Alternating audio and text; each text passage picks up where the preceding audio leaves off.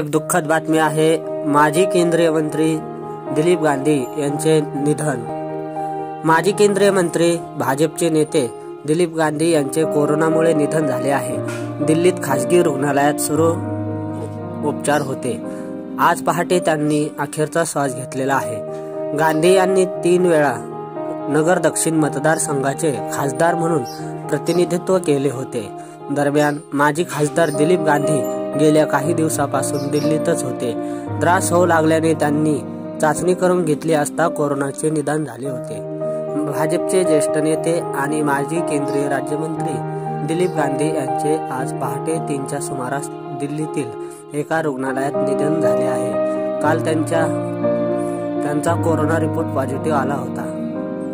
त्यांना श्वास घेण्यात जास्त त्रास होत असल्याने काल दुपारपासूनच त्यांना दिल्लीतील एका खासगी हॉस्पिटलमध्ये व्हेंटिलेटरवर ठेवण्यात आलं होतं.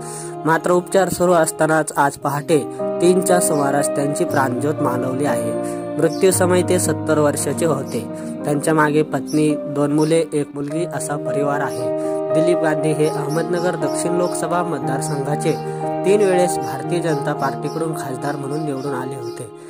तर दोन हजार तीन ते दोन हजार चार दरम्यान केंद्रातील भाजप सरकारमध्ये जहाज बांधणी राज्यमंत्री म्हणून त्यांनी कार्यभार पाहिला होता. एकोणीसशे नव्याण्णवला ते प्रथम खासदार झाले होते. पुढे दोन हजार नऊ आणि दोन हजार चार साली ते पुन्हा खासदार म्हणून निवडून आले होते.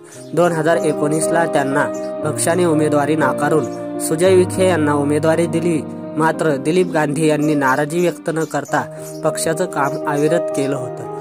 स्वर्गीय दिलीप गांधी हे संघाच्या मुशीत वाढले होते. भारतीय जनता पक्षाच्या विविध शाखात त्यांनी काम केलं. नगरपालिकेचे नगरसेवक उपनगराध्यक्षपद नगर अर्बन बँकेचे अध्यक्षपद आदी पदे त्यांनी भूषविले आहेत. आपण जर महाराष्ट्र न्यूज हब या चॅनलवरती नवीन असाल तर ताज्या अपडेटसाठी महाराष्ट्र न्यूज हब या चॅनलला सबस्क्राईब करा व ऑल नोटिफिकेशन क्लिक करा. धन्यवाद. नमस्कार आपण पाहत आहेत महाराष्ट्र न्यूज हब. मी कुलदीप देशपांडे आपल्यासोबत. महाराष्ट्र न्यूज हब या चॅनलमध्ये आपल्याला सामाजिक राजकीय सांस्कृतिक तसेच शिक्षण कृषी व्यावसायिक व क्रीडा याविषयी महत्वाची माहिती आपण या चॅनलवरती टाकत असतो. जर आपण या चॅनलवरती प्रथम असाल तर या चॅनलला सबस्क्राईब करा.